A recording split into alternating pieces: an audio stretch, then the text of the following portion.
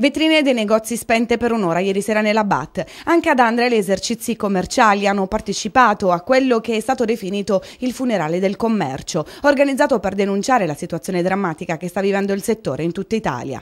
Una giornata di mobilitazione nazionale voluta da Confcommercio, Confesercenti, CNA, Confartigianato e Rete Imprese Italia per dire no ad un regime fiscale barocco che soffoca, hanno spiegato.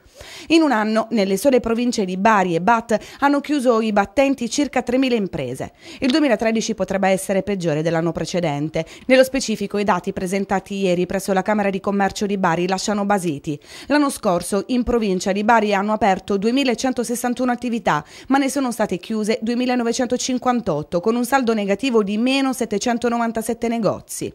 Gli esercizi commerciali sono in ginocchio, i commercianti non ce la fanno più. Solidarietà è stata espressa dal sindaco di Andria, Nicola Giorgino. La politica e le istituzioni devono fornire rapide e non più prorogabili risposte alle centinaia di migliaia di imprese in difficoltà, strozzate da una pressione fiscale intollerabile e da una burocrazia assillante, ha spiegato con una nota il primo cittadino.